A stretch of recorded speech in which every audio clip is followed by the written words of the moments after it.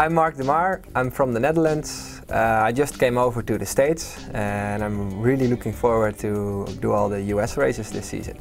I started cycling at the age of 14, 15 almost. Um, I used to be an ice skater and during the summer uh, we trained uh, a lot on the, our bikes.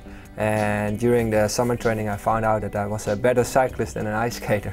I'm pretty good in everything, almost everything. Um, quite all round. Good climbing, uh, time trialing. Um, I think sprinting is my weakest. Uh, but I'm, I'm, I'm alright, I can almost do everything. What I really liked and enjoyed the last few days, that everybody is close together and everybody is on the same level and very friendly and helpful and it, it feels like a real team. That's what I missed the last couple of years. Yesterday um, we practiced some racing. Uh, we were heading for the last mountain and we put the, the, the whole team in two teams. We split it, the, the immigrants and the Americans. and um, I just attacked from the from the bottom of the climb. It was it was a bit for fun, you know.